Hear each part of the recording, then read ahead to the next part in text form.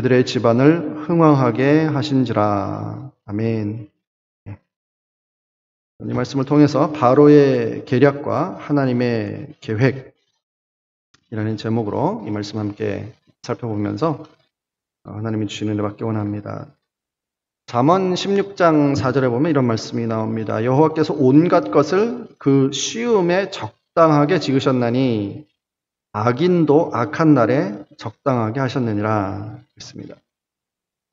어, 사실 그 정직한 눈으로 우리가 세상을 바라볼 때에 어떤 때는 참 이 악의 존재에 대해서 어, 우리가 굉장히 참 어, 의문이 생기고 또 조금 더 나아가면 시험에 들 때가 있어요.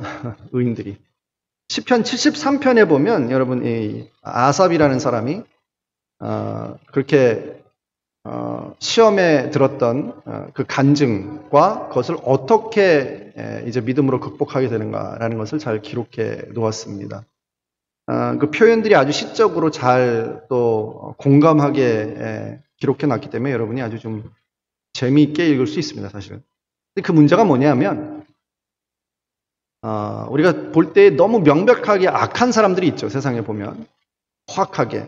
어, 뭐 자신의 권력과 힘과 어떤 영향력을 굉장히 그 좋지 않은 방향으로 어, 사용해서 그 사회에 좀 어, 지탄을 받고 어, 사람들이 물론 싫어하고 또 뭐 비난도 많이 하고 그러는데도 여전히 잘 되는 거예요.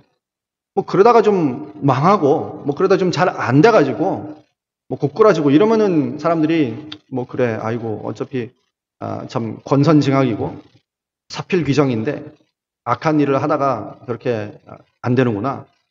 그렇게 좀 됐으면 참 좋겠는데 그게 아니에요. 악을 행하고 부정을 하고 뭐 온갖 불법과 편법과 탈법과 뭐 온갖 것을 다 씌우는데 너무 또 잘 되는 거예요. 그런가 하면 한편으로 아, 그래도 좀 양심을 쓰고 도리를 지키고 아, 그렇게 좀 살아보려고 하는 좀 의인같이 보이는 사람들. 그런 사람들은 또 뭐가 이렇게 안 풀리는지. 정반대로. 막 그냥 너무 보기 안타까울 정도로, 어, 참 고난을 당하고 어려움을 당하고 또 그런 그 소위 악인들이 막 멸시하고 짓밟고 뭐 이런 일들이 막 일어나는 거예요. 그러니까 이제 보통 사람들이 볼 때도 참 안타깝지만 특별히 믿는 사람들은 뭘 믿습니까? 우리가 하나님의 주권을 믿지 않습니까? 하나님이 이 세상을 다스리시고 하나님은 공평하고 정의롭고 죄악을 용납하시는 분이 아니라고 우리는 믿고 알고 있는데 우리 눈앞에 벌어지는 일들을 보면은 이제 그렇지 않은 것 같으니까 믿는 사람들이 갸우뚱갸우뚱 질문을 하다가 나중에는 이제 시험에까지 드는 경우가 있죠. 하나님 도대체 왜 이러십니까? 아, 살아계십니까? 왜 저 악인들을 심판하지 않으십니까? 뭐 이러한 어, 질문들을 할 때가 있어요. 근데 거기에 대한 한 부분적인 답이 오늘 지금 어, 잠언 16장 4절의 말씀이에요. 하나님의 주권을 가지고 다스리는데 어떤 부분들은 굉장히 악하고 저건 정말 하늘에 당장 벼락이 떨어져서 그냥 심판을 받아야 될 것 같은 그러한 악인들을 왜 하나님이 도대체 저렇게 아, 가만 놓아두시고 뭐 가만 놓아둘 정도가 아니라 오히려 잘 되는 것처럼 보이는 그 사람들의 계획과 그 사람들의 모든 하는 일들이 형통한 것처럼 보이는 자 이런 일을 이거 어떻게 우리가 받아들여야 됩니까? 라는 질문을 할 때가 있습니다. 근데 어디까지나 그뭐 10편 73편에도 나오지만 일시적이에요. 우리의 시야는 굉장히 잘 짧거든요, 사실은. 아, 그래서 단견으로 볼 때는 모든 게 잘 되는 것 같은데 반드시 sooner or later 짧든지 길든지 하나님이 반드시 심판할 날이 온다라는 거예요. 그리고 어쨌든 악인이 하는 모든 그러한 일들도 하나님의 계획, 그때는 자신들이 막 자기 일이 성공되고 자기가 악한 계획이 막 잘 되러 가는 것처럼 보이지만 더 큰 그림에서 봤을 때는 그게 뭐예요? 하나님의 심판을 자초하고 하나님의 계획과 뜻을 이루는 데 기여하는 식으로 어, 벌어 그, 그 사람들의 모든 일들이 귀결이 된다라는 것을 조금 더 두고 보면 우리가 알 수 있게 된다라는 것입니다. 뭐 예, 서론을 좀 길게 했는데 사실 바로의 이스라엘 백성들을 정말 무자비하게 예, 포갑하고 나중에는 죽이려고 했던 그 계획을 오늘 우리가 볼 텐데요. 자, 그것도 그렇게 언, 이해할 수 있습니다, 우리가. 왜 하나님이 하나님의 사랑하는 백성들을 그 바로의 수하에서 고통받도록 허락하셨는가? 하나님의 계획 속에 있었던 것을 우리는 이 말씀을 통해서 어, 확인하게 됩니다. 자, 8절부터 우리 한번 어, 다시 보겠습니다. 이제 그 부분을. 자, 요셉을 알지 못하는 새 왕이 일어나 애굽을 다스리더니 지난 시간에 제가 말씀드렸는데 아, 구약에 한 3, 400년의 공백기 하나님이 말씀을 하시지 않은 것 같은 아, 또 그의 백성들을 정말 침묵하셨던 그 백성들에게 침묵하셨던 기간이 한 두 가지 두 기간이 있어요. 말라기에서 마태복음 넘어가는 그 맨 마지막 아, 그 기간과 또 이 창세기에서 출애굽기로 넘어오는 그 기간이라고 볼 수 있습니다. 약 3, 400년 정도 기간이에요. 그래서 겉으로 보면 하나님의 아무 말씀도 또 아무 선지자도 보내시지 않은 것처럼 보일 수 있어요. 역사하시지 않았나. 그렇지만 하나님은 그 가운데 우리 눈에 보이지 않아도 끊임없이 역사하고 계셨습니다. 자, 어쨌든 여기 요셉을 알지 못하는 세왕이 일어났다. 그랬는데요. 물론 뭐 시간이 지금 몇백 년이 흘렀으니까 어, 여기 아, 요셉을 기억하지 못하는 혹시 왕이 있었을까라고 생각하는데 사실은 이제 그거보다는 정말 뭐 그런 역사가 있었다는 사실 자체를 몰랐다기보다는 인정하지 않는 그러한 바로겠죠.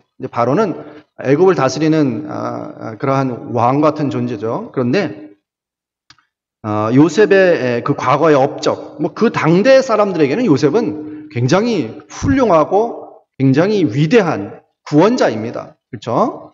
애굽 나라가 다 망할 지경에 있었는데 그 가운데서 어, 요셉이 어, 아주 지혜로운 어, 전략을 펴서 7년 흉, 흉년 동안에 양식을 다 비축해 놓았다가 흉년 때 그것을 잘 풀어서 그 위기를 잘 넘어갈 수 있었고 애굽에 있는 사람들뿐 아니라 주변에 있는 다른 많은 사람들이 혜택을, 혜택을 볼 수 있는 아, 그러한 영웅이었습니다. 그런데 이 요셉을 알지 못하는 아, 바로가 일어나서 이제는 그런 어떻게 보면 요셉과 더불어서 특권을 누렸던 이 요셉의 가족들, 야곱의 가족들이 이제 몇백 년이 지나고 난 다음에는 어떻게 되냐면 노예같이 전락을 해버립니다. 그래서 여기 어, 특별히 야곱의 후손들이 생육이 중다하고 즉 어, 굉장히 그 숫자가 많아졌다라고 여기 기록을 하고 있죠. 구절에 보면 아, 이제 바로 가는 말인데 그가 그 백성에게 이르되 이 백성 이스라엘 자손이 우리보다 많고 강하도다. 아, 해석에 조금 이제 이게 어 그러면 그때 당시 애국 민족보다 유대 민족이 더 숫자로 많고 강했나? 아 그거는 아니고요. 영어 성경만 여러분 보셔도 이게 그 사람들이 보기에 이제 그러한 아, 말로 여기 번역이 되어 있어요. 뭐냐면 아, too many and too mighty for us. 우리에게 굉장히 그러니까 위협이 될 정도로 뭐 꼭 숫자가 많다거나 아니면 더 뭐 강한 군대라든지 이런 차원이라기보다는 어쨌든 숫자가 늘어나고 있으니까 우리 뭐 절대적인 숫자는 여기 기록되어 있지 않으니까 몰라도 아, 이제 위협으로 다가온 거예요. 그래서 그 다음에 주장하는 게 뭐냐면 여기 10절에 보시면 자 우리가 그들에게 대하여 지혜롭게 하자 두렵건데 그들이 더 많게 되면 전쟁이 일어날 때에 우리 대적과 합하여 우리와 싸우고 이 땅에서 나갈까 하노라 그랬습니다. 그래서 이 언제나 이 다민족 사회에서는 이제 이런 어, 위기 의식을 느낄 수가 있어요. 항상 보면 그래서 뭐 여기 지금 미국 사회도 우리 어, 마이너리티잖아요, 우리가 소수 민족이잖아요, 말하자면 아시안들도 그렇고 뭐 우리 한국 사람도 그렇고 자, 이런 식으로. 근데 이제 인구가 점점 점점 늘어나서 이게 어떤 면에서 다수가 되고 좀 어떤 어, 정치적인 면에서 세력을 형성할 수 있는 그러한 게 되면 생각이 좀 달라지는 법이에요. 특별히 어, 이제 역사적으로 보면 그렇게 주시하고 있다가 이제 소수 소수의 어떤 그러한 어, 민족이 됐든 집단이 됐든 이 어려움이 올 때는 항상 뭐가 되냐면 희생양 같이 돼버려요. 그러니까 왜 우리가 이렇게 경제가 어렵냐? 그러면 아 이거 다 쟤네들 때문이야. 뭐 이런 식의 참 어떻게 보면 정치가들의 좀 나쁜 어, 그러한 버릇이라고 할까요? 어, 그런 건데 어, 핑계를 그 삼고 뭔가 어떤 자신들의 상황이 나쁜 것을 핑계거리가 될 만한 그러한 대상을 어, 삼을 때가 많습니다. 어쨌든 그래서 뭐 어, 우리 어, 나치 독일에서도 그래서 유대인들을 학살하고 죽였던 것들이 바로 그런 것들이에요. 저 민족은 열등하고 우리를 이렇게 만드는 거고 뭐, 뭐 이런 식으로 해가지고 정당화하는 거죠. 그렇게 예. 그런 악한 일들을 하는데 어, 지금 이 예, 애굽의 바로도 좀 비슷한 어, 그러한 어, 생각을 가지고 이스라엘 백성들을 핍박한 것으로 볼 수 있습니다. 그래서 사실은 그 위협이 되는 점점 점점 커지는 이스라엘 백성들의 그 숫자와 아, 그 세력을 이제는 자신들이 노동력으로 이용하려고 하는 뭐 사실 뭐 자기들 입장에서는 굉장히 지혜롭고 효과적인 정책이었다고 생각할 수 있겠지만 이스라엘 백성 입장에서는 상당히 이게 가혹한 것이죠. 그래서 이 조직적으로 이스라엘 백성들을 노예로 삼아서 그 여기 큰 건축 프로젝트 여러분 이 이집트는 지금도 유명하지 않습니까? 그 피라미드라든지 스핑크스라든지 엄청나게 큰 아, 그러한 건축물들 그걸 도대체 어떻게 지었을까? 그 옛날에 아직도 미스테리죠. 근데 분명한 건 뭐냐면 그때 물론 뭐 기계 같은 것도 좀 사용은 했겠지만 대부분은 뭐예요? 인력으로 한 거예요. 사람의 노동력이 없으면 절대로 건축을 그렇게 할 수가 없습니다. 그래서 여기 이스라엘 백성들도 어, 여기 구체적으로 나오죠. 국고성 비돔과 라암셋을 건축하는데 다 노동력으로 사용합니다. 강제 노동과 같이 노예로 그렇게 사용을 했고 어, 또 여기 어, 14절에도 보면 그것만 시킨 게 아니에요. 흙 이기기, 또 벽돌 굽기, 또 농사의 여러 가지 일, 소위 그 사회의 하부 노동력이죠. 가장 좀 힘을 써서 어, 힘들게 해야 하는 그런 일들. 이제 이런 것들을 다 이스라엘 백성들이 예, 감당하도록 하는 어, 그러한 정책을 폈습니다. 그래서 이게 전체적으로 사실 좀 전에도 서론에 말씀드렸지만 하나님은 그 당시에 침묵하시는 것 같이 보이고 어떤 구원자를 보내거나 또 어떤 아, 보이는 형태로 하나님의 백성을 돕는 것 같지 않아 보일지라도 가장 중요한 게 뭐냐면 하나님은 이스라엘 백성들을 번성하게 하셨어요. 생육이 중다고. 그러니까 자녀들을 많이 낳아서 숫자가 많아지게. 그래서 이제 결국 하나님의 나라를 결국 이제 세우게 되죠. 이제 이스라엘 백성들이 나올 때는 60만이라는 아, 그런 많은 아, 숫자, 남자만 60만이니까 뭐 한 200만 이상 되는 그러한 인구, 나라죠. 엄청나게 큰. 아, 뭐 처음에 70명 내려갔을 때랑 비교한다면 엄청나게 많은 숫자가 된 것입니다. 그렇게 하나님이 보이지 않는 하나님의 섭리의 손길로 이스라엘 백성들을 생육하고 번성하게 하셨는데, 자, 거기에 비해서 이, 어, 바로는 이스라엘 백성들을 어떻게 해서든지 억압하려고 합니다. 이게 첫 번째 이제 계략이에요. 뭐냐면, 어, 이 이스라엘 백성들을 자기의 목적, 건축이라든지 뭐 농사라든지 이러한 이 노동을 하는 목적에 사용하고, 그 다음에 이러한 이렇게 억압을 줌으로써 이스라엘 백성들을 좀, 어, 어떻게든지 자기들 손아귀에 쥐고 또 어, 그렇게 자신들이 예, 어, 통제를 하겠다라는 게 첫 번째 정책이었어요. 그렇게 아마 생활이 힘들고 강제 노동을 막 시키고 이렇게 하면 이렇게 움츠러들고 이스라엘 백성들이 점점 점점 뭐 인구 숫자나 이런 면에서도 좀 줄어들지 않을까 너무 힘들면 뭐 이러한 인간적인 생각을 했던 것 같습니다. 근데 참 놀라운 사실은 이렇게 학대를 받으면 받을수록 이스라엘 백성들은 더 번성하는 거예요. 자, 이걸 어떻게 설명을 해야 되겠습니까, 여러분? 그래서 이것이 바로 하나님이 보이지 않는 손으로 그의 백성들에게 은혜를 베풀어 주신 것이다라고 볼 수 있습니다. 생명을 번성하게 하시고 창성하게 하셔서 사실 하나님이 어, 창세기에 보면 이 천지 만물을 만드시고 나서 어떻게 합니까? 생육하고 번성하라. 그런 명령을 주셨죠. 그래서 하나님은 항상 생명이 생명을 주시고 그 생명을 통해서 점점 번성하도록 하는 게 하나님의 뜻이고 특별히 하나님의 백성들에게 그러한 축복을 어, 허락해 주셨어요. 그리고 단순히 그냥 일반 피조물에게만이 아니라 아브라함의 후손에게는 하나님이 특별히 더 그러한 약속을 주셨습니다. 그래서 내 후손이 번성하게 되어서 하늘의 별과 같이 많아지고 바다의 모래와 같이 되고 자 그러한 약속을 뭐 큰, 뭐 대단한 어떤 역사와 대단한 어떤 어, 보여지는 일보다는 보여지지 않지만 점점 점점 점점 이스라엘 백성들이 그렇게 번성하고 늘어나게끔 함으로써 하나님의 약속을 성취하고 계시는 그러한 모습을 우리가 보게 됩니다. 그래서 여기서 우리가 하나의 영적인 어, 원리를 우리가 볼 수 있는 것은 사실 하나님의 백성들에게 때때로 이런 어려움이 옵니다. 여러분. 여러분이 개인적으로도 그렇죠.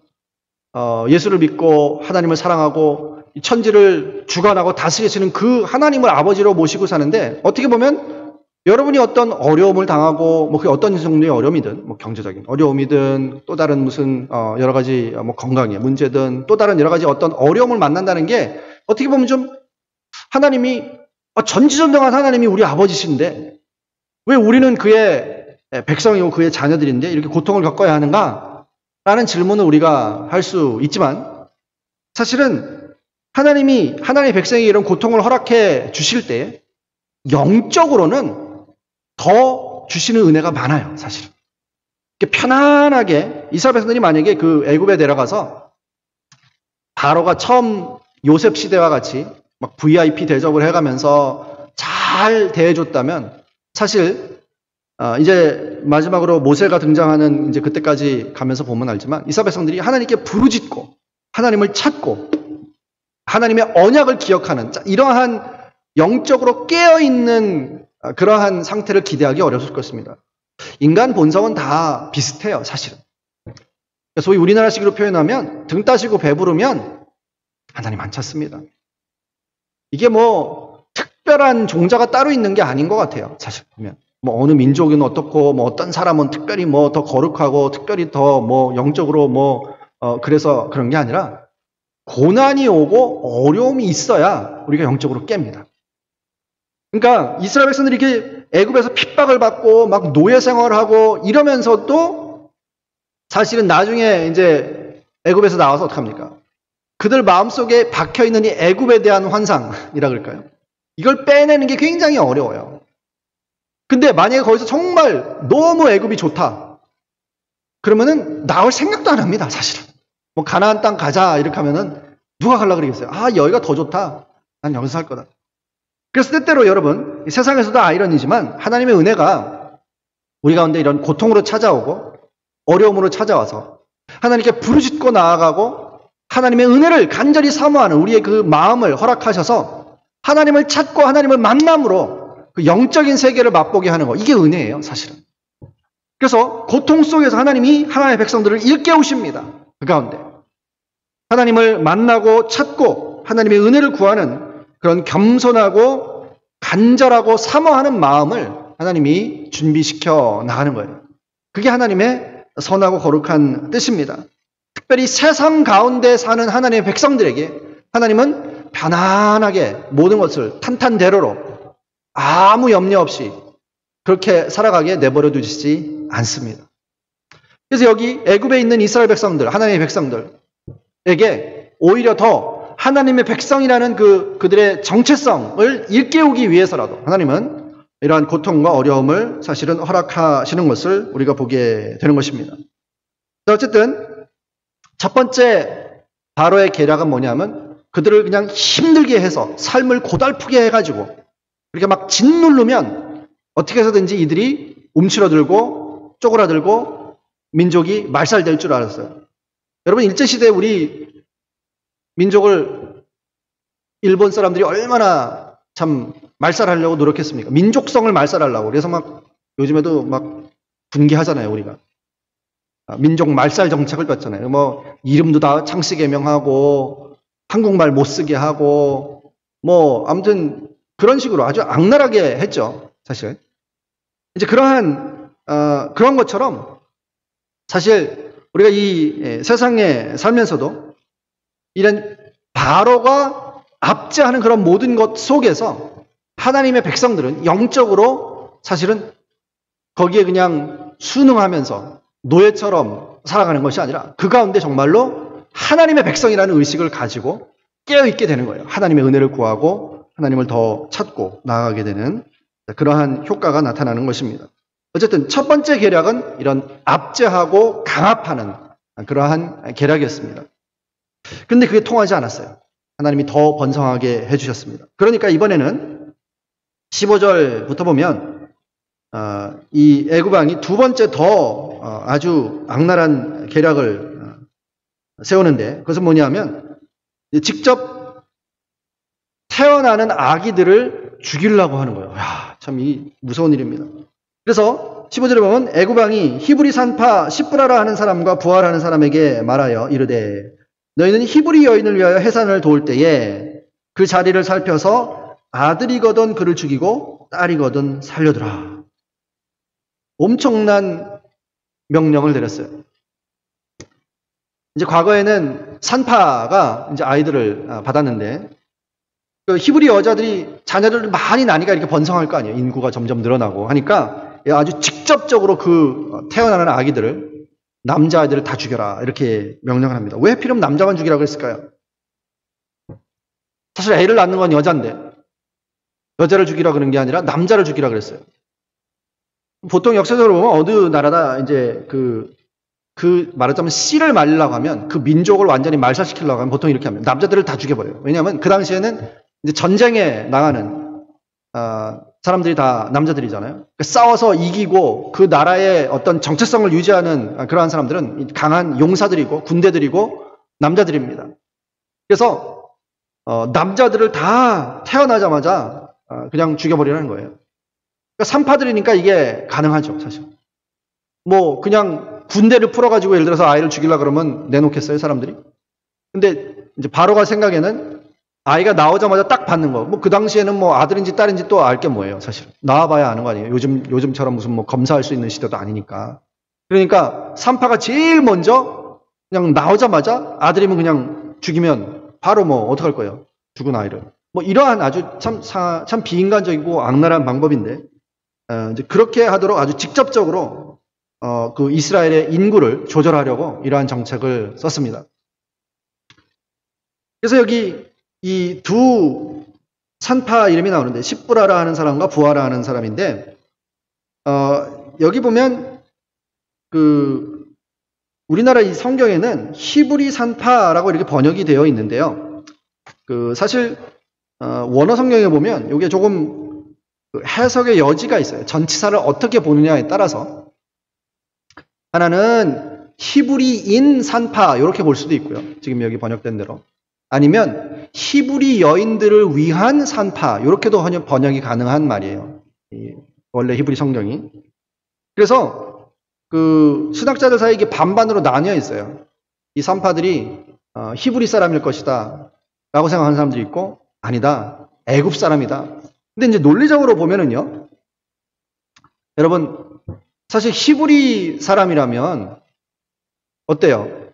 바로가 바로의 명령을 이렇게 받아서 이렇게 자기 동족을 죽이는 일을 하는 게 쉽겠어요?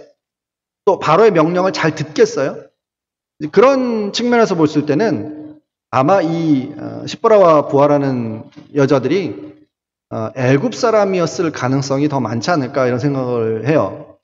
제가 생각하기에는 아, 그래야 바로가 이제 자기 민족이니까 어, 이 히브리 민족을 말살해야 되는데 너희들이 가서 그리고 사실은 어, 여러분 이스라엘 백성들이 나올 때 60만이라 그랬으니까 얼마나 많습니까 사실. 근데 이 두 명의 산파가 그 많은 이스라엘 백성들을 다 어, 애를 받았다고 볼 수는 없죠. 그러니까 아마도 이 애굽 출신의 이두 산파의 어떤 우두머리 되는 사람이 아니었을까 그렇게 추측을 합니다. 그래서 그 밑에 있는 뭐 히브리 산파들인지 뭐 애굽 사람인지 어쨌든 그걸 이제 컨트롤하고 다스리는 이 두 사람이 명령을 내려서 아마 이렇게 그 어, 이스라엘 백성들을 남자 아이들을 다 죽이는 이 일에 어, 주동하는 그러한 사람으로 어, 바로가 아, 이러한 정책을 쓰지 않았나 이런 생각을 합니다. 근데 참 흥미로운 사실은 이 산파들이 당연히 어때요? 자기들이 살기 위해서라도 바로의 명령을 들어야 될 것 같은데 그렇지 않습니까? 어, 그 당시에 왕명이면 뭐 황제인데 이 뭐 황제와 같은 사람인데 안 들었다가 어떻게 되겠어요? 뭐 죽는 거는 뭐 어, 일도 아니죠 사실은. 그런데 하나님을 두려워했다 그랬어요. 그 사람들이 인간적으로 봤을 때는 제일 두려워해야 될 사람이 누구예요? 바로잖아요, 여러분. 모든 권력과 힘과 모든 것을 가지고 생사 여탈권을 진 사람이 바로인데 바로보다 하나님을 더 두려워했다 하겠습니다. 여기 참 어떤 면에서는 우리가 하나님을 경외하는 삶이 무엇인가라는 데 대한 좋은 어떤 어, 그림을 보여줍니다. 사람들이 믿는 사람들도 사실 세상에 살면서 뭐 두려워합니까? 돈 무서워하고 사람들의 세력 무서워하고 그렇습니다.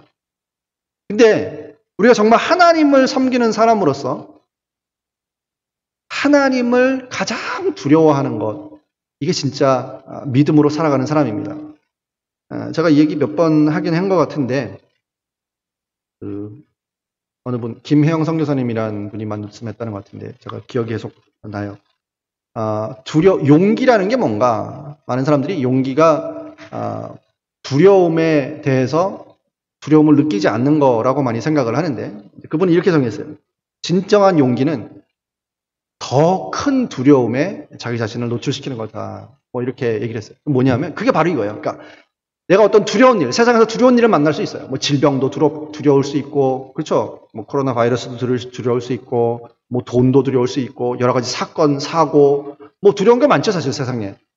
그렇지만 그 모든 것보다도 더 두려운 대상이 누구예요? 하나님이에요. 마태복음 10장에 나오는 것처럼 너희들은 기껏 죽여봤자 육신의 몸을 죽이는 그러한 사람들을 두려워하지 말고 영혼까지 함께 영원한 지옥에 채워 넣을 수 있는 그 하나님을 두려워하라. 그랬는데요. 그래서 정말 하나님에 대한 두려움에 우리가 사로잡힐 때 사실 가장 경건하게 거룩하게 살 수 있어요, 여러분. 아이러니죠, 사실. 여러분 이게 포비아 같으면 굉장히 이제 부정적인 두려움인데요. 여러분 그 거의 정신병적인 증세죠. 뭐, 뭐, 어떤 사람들은 뭐 고소공포증, 그래서 뭐 올라가지를 못하고, 비행기도 못하고, 뭐 이런 분들도 있고, 또, 뭐, 뭐 그런 식으로 말하자면, 뭘 두려워하는 대상에 대해서 어쩔 줄 모르는 아, 그러한 아, 사람들이 있을 수 있어요.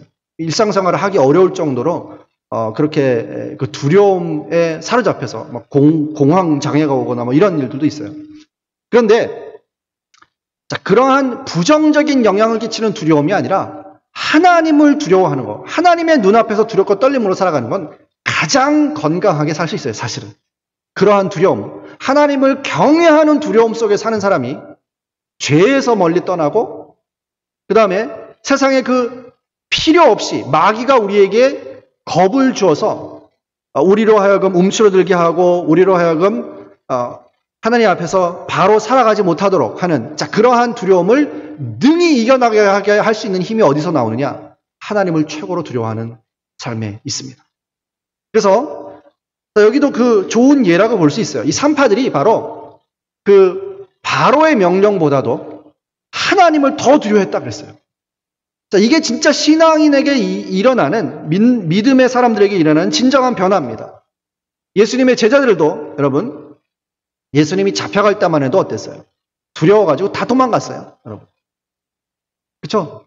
대대사장들과 아, 그 종교 지도자들이 군대를 풀어가지고 예수님을 잡아갈 때 어떻게 했습니까? 물론 뭐 베드로는 칼 한 번 뽑아가지고 뭐 한 번 말골기를 깎긴 깎았는데 뭐 그 다음에는 어떻게 다 도망갔어요, 다. 그러던 제자들이 겁쟁이들이잖아요. 예수님한테 그 다음에 슬그머니 멀리 먼 발치에서 겨우 쫓아갔던 베드로인데 성령을 받고 나니까, 오순절 성령을 받고 나니까 어떻게 됩니까? 그 사내들인 공예가 예수님을 잡아 죽인 바로 그 동일한 사내들인 공예입니다, 여러분. 그 앞에 가서 담대하게 서가지고 너희가 하나님의 말씀 듣는 것과 사람의 말, 너희들 말 듣는 거 어느 게 더 옳은가 판단하라. 다 어, 담대하게 그렇게 얘기한 게 그런 용기가 생겼어요. 베드로가. 전에 그렇게 도망치던 제자들이 어떻게 그렇게 변했을까요? 바로 진정으로 두려워하는 대상인 하나님을 만난 거예요. 성령을 통해서. 그러한 변화가 저와 여러분들에게 있을 때 우리 시편에 나오는 것처럼 천만인이 나를 둘러치려 하여도 내가 두려워하지 아니하노라. 이런 진정한 용기가 나오는 거예요. 왜? 누구를 두려워하니까? 하나님을 두려워하니까. 그러니까 진짜 두려워할 대상을 바로 두려워하는 게 우리가 오히려 이 세상에서 진짜 용기를 가지고 살아갈 수 있는 참다운 비결이다라고도 볼 수 있습니다. 어쨌든 이 산파들이 정말 그런 용기를 가지고 감히 왕명을 거스리고 살렸습니다. 이스라엘 백성들을 살렸어요.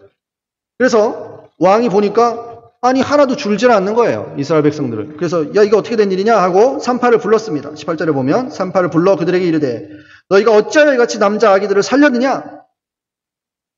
그랬을 때 19절에 보면 산파가 바로에게 대답하여 대답하되 히브리 여인은 애굽 여인과 같지 아니하고 건장하여 산파가 그들에게 이르기 전에 해산하였더이다 하매 얼핏 아뭐 얼핏이 아니라 이렇게 보시면 어때요? 19절이 이, 이, 이 사람들의 말이 지어낸 얘기 같이 보이죠. 거짓말 같이. 그래서 이제 여기에 대한 해석이 이제 좀 역사적으로 계속 있습니다. 그래서 어떤 사람들은 이 사람들이 정말 하나님을 두려워하고 그렇지만 바로 앞에 가서 뭔가 얘기를 해야 되니까 아, 이런 거짓말을 한 거다라고 보는 사람들이 있어요. 그렇지만 어쨌든 거짓말을 한 것 자체는 나쁜 일일지 몰라도 그들의 목적은 어땠습니까? 하나님의 백성들을 보호하고 생명을 살리려고 하는 그런 좋은 목적을 가지고 거짓말을 했기 때문에 네, 그래도 어, 이 사람들은 어, 뭐 선한 일을 한 것이다. 뭐 이러한 해석을 어, 보통 많이 합니다. 어거스틴이라든지 칼빈도 이제 그러한 거짓말 자체는 잘못됐지만 하나님을 순종해서 또 그의 백성들을 도와주려고 한 것이므로 선한 일이다. 이러한 해석을 놨어요. 그래서 사실 여러분 어, 나중에 가나안 정복을 들어갈 때도 여러분 기생 라합의 스토리를 보시면 아시죠?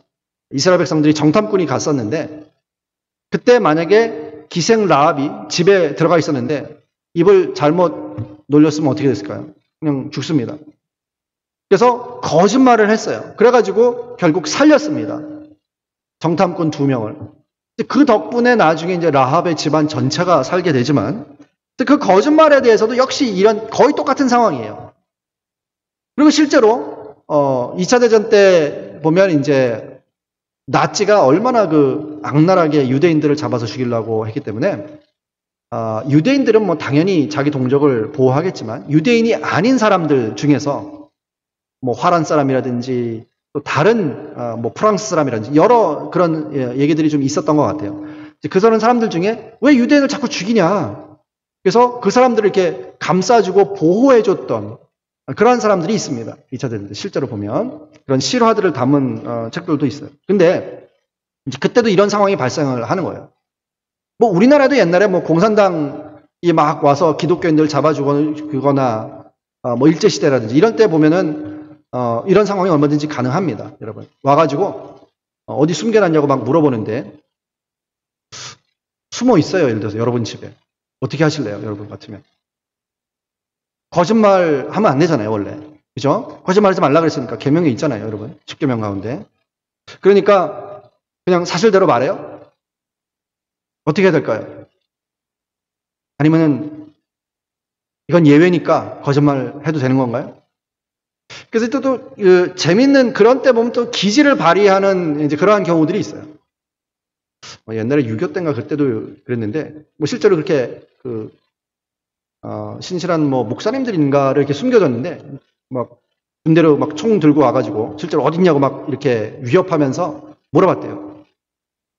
그러니까 사실대로 얘기하면 어떻게 다 잡아가야 되니까 이분이 이렇게 주머니에다 손을 넣고 여기 없어요, 여기 없어요 이랬대요. 무슨 말인지 아시겠죠? 그게 뭐예요? 약간 반 거짓말 같은 트릭인데 뭐냐면 여기 없다는 거죠. 자기는 자기는 주변에 사람이 없는 말이 안 되는 얘기인데 그러니까 이제 자기 집에 없다라는 얘기를 그런 식으로 그러니까 자기 양심에 거짓말을 하지 않으면서 그러면서도 이제 그 어, 생명을 보호하려는 약간은 그런 재치라고도 볼 수 있는데요. 뭐 그런 식으로 생각하는 경우도 있어요.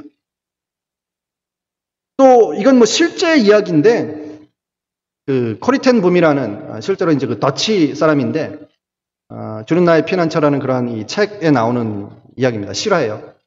아, 독일군들이 가서 그 테이블 밑에 숨었었어요. 숨겨졌는데 유대인들을 그 테이블을 거기다 깔고 그 위에서 이제 밥을 먹고 있었는데 들이닥친 거예요. 독일군들이 들이닥쳐가지고 유대인 어디다 숨겼어 이렇게 하고 총을 막 하는데 거기 이제 가족이 있었는데 어, 어린 아이들이 있었나 봐요. 한 티네이저 정도 되는 아이들이 있고 어른들이야 뭐 입을 쉽게 열지 않겠지만 근데 이제 그 어린 어, 여자 소녀였나 걔한테 이제 총을 막 갖다 대면서 어디 있어 바른 대로 말해 이렇게 하니까 얘가 막 무서워가지고 패닉이 됐는데 진실을 말한 거예요. 탁자 밑에 있어요. 그렇게 얘기를 했는데 이제 그러니까 완전히 이제 테이블 치우고 잡아갈 판인데 너무 긴장을 해가지고 이 아이가 총을 막 이렇게 들이대니까 히스테리컬하게 웃었어요. 그렇게 하고 하 하고 이렇게 웃어버린 거예요. 진실을 말했는데 그러니까 그건 뭐 전혀 뭐 계획된 게 아니에요. 그냥 너무 긴장을 하다 보니까 이제 그렇게 됐는데 총을 겨누고 있던 군인들 입장에서는 어떻게 해요? 그래서 막 진짜로 테이블을 들추고 끊으려고 했다가 웃으니까 뭐예요? 자기를 놀린 것 같이 생각돼가지고 막 화를 버럭버럭 내고 그냥 수색을 안 하고 가버린 거예요. 그러니까 이렇게 하나님이 어떻게 보면 어떻게 해서든지 죄를 안 질라고 하고 진실되게 생명을 보호하게 하니까 그런 어떤 정말 기적적인 방법이죠. 어떤 면에서는. 그렇게 해서 모면하게 해서 어, 그 아이도 안전하고 또 숨어있던 유대인들도 안전하게 되는 뭐 그러한 실제 사태도 있어요. 그래서 모르겠어요. 이건 뭐 여러분들의 양심에 맡겨야 되는 일이지만 어쨌든 중요한 건 요즘에는 뭐 생명을 살리는 것보다는 자기 이권이 침해를 당할까봐 얼마나 거짓말들을 아무렇지도 않게 하는 세상에 우리가 살고 있습니까? 그래서 믿는 사람들도 이런 부분들에 대해서 양심을 똑바로 안 쓰는 경우들이 굉장히 많습니다. 사실은요. 요즘에. 그걸 뭐 융통성이라고 생각하고 아 세상 살아가는 법이야 뭐 이렇게 생각하고 뭐 비즈니스 하다 보면 다 그래 뭐 이런 식으로 아무튼 합리화하는 경우들이 굉장히 많습니다. 그래서 하나님 앞에서 진실은 생명입니다. 우리 그리스도인들에게 있어. 말씀을 지키는 것도 생명이고요. 그래서 이걸 뭐 우리가 아 뭐 다른 사람들이 세상이 세상은 원래 그런 세상이에요. 예나 지금이나 세상을 탓하면 안 돼요. 세상은 항상 악하고 세상은 항상 거짓되고 그게 아무렇지도 않고 합리화될 수 있는 게 세상이에요. 근데 우리는 하나님의 백성으로서 하나님 앞에 항상 진실되게 살아가려고 하는 것이 중요합니다. 어쨌든 중요한 것은 이 산파들도 모르겠어요. 그래서 이 산파들이 한 것도 조금 전에 제가 말씀했던 것처럼 이거 바로 앞에서 농담한 거다 이렇게 얘기하는 해석도 있어요. 그러니까 진짜로 어, factual statement으로 얘기한 게 아니라 우리가 가기 전에 유대인들 어, 그 여자들은 너무 건강하기 때문에 다 애를 낳아버렸어요. 뭐 이렇게 하고 했더니 바로는 또 그걸 진짜로 듣고 어, 결국에는 어, 속 속은 먹이시기도 하고 또 어, 하나님이 그걸 통해서 면하게 예, 하시는 그러한 놀라운 어떤 섭리 가운데 있었다라고 해석을 하는 분들도 있어요. 어쨌든 뭐 쉽게 우리가 어려운 상황에는 거짓말을 해도 된다라고 생각해서는 안 되겠죠. 어떻게 해서든지 우리가 하나님의 말씀을 양보하지 말고 진실되게 살아야 된다라는 아, 사실을 우리가 아, 배워야 되는 것은 분명한 것입니다. 그래서 어쨌든 하나님이 이 산파들에게 은혜를 베푸셨다 그랬어요. 20절에 보면 하나님이 그 산파들에게 은혜를 베푸시니 그 백성은 번성하고 매우 강해지니라. 그 산파들은 하나님을 경외하였으므로 하나님이 그들의 집안을 흥황하게 하신지라. 그래서 정말 윈윈이 돼버렸어요. 하나님의 백성들은 그러한 피팍 속에서도 바로가 억압하고 또 직접 남자아이들을 다 죽이라는 자, 그러한 아주 어, 제노사이드라 그러죠. 그렇게 민족을 말살하려고 하는 그러한 계략 속에서도 하나님이 보존시키시고 번성하게 하시고 또 그 가운데서 하나님의 말씀을 순종했던 이 산파들은 하나님의 은혜를 받고 또 어, 번성하게 흥황하게 되는 그러한 축복을 받게 된 것을 우리가 보게 됩니다. 그래서 우리가 이 가운데도 자 바로는 비록 악하게 악랄하게 이스라엘 백성들을 핍박하고 또 산파를 통해서 어, 죽이려고 하는 이런 일을 했지만 하나님은 이 속에서 이스라엘 백성들을 일깨우시고 영적으로 하나님의 백성다운 삶을 살아가도록 어, 그들에게 은혜를 베풀어 주셨고 번성하게 하셨고 그래서 아브라함에 대한 약속을 이루시고 또 그 하나님의 말씀을 순종하는 산파들에게까지 하나님의 은혜와 축복이 임하도록 하신 것을 보게 됩니다. 그래서 결국에는 아무리 사단이 악한 계략을 써서 하나님의 백성들을 죽이려고 하고 핍박하려고 해도 하나님의 계획은 절대로 실패하지 않고 여인의 후손 또 그리스도를 낳게 되는 장차 하나님의 백성과 그의 후손들을 반드시 보존, 시키셔서 하나님의 뜻을 이루시는 분이시다라는 것을 믿고 오늘도 여러분들이 이 믿음 가운데 하나님을 신뢰하면서 하나님을 경외하며 어, 그의 뜻대로 살아가는 저 여러분들 되시길 바랍니다. 기도하겠습니다. 하나님 감사합니다. 저희들이 참 이 바로가 그의 하나님의 백성들을 억압하고 죽이려고 하는 그러한 계략을 가지고 살아가는 것과 같은 이 세상에서 어떻게 해서든지 저희들이 하나님의 말씀을 잊어버리고 세상과 동화되어 살고자 하는, 살려고 하는 그러한 유혹 속에 저희들이 있지만 하나님 저희들이 하나님의 선하신 뜻과 저희들을 향하신 구원의 약속이 반드시 이루어질 것을 믿고 하나님을 순종하며 믿음으로 살아가는 저희들이 되게 하여 주시옵소서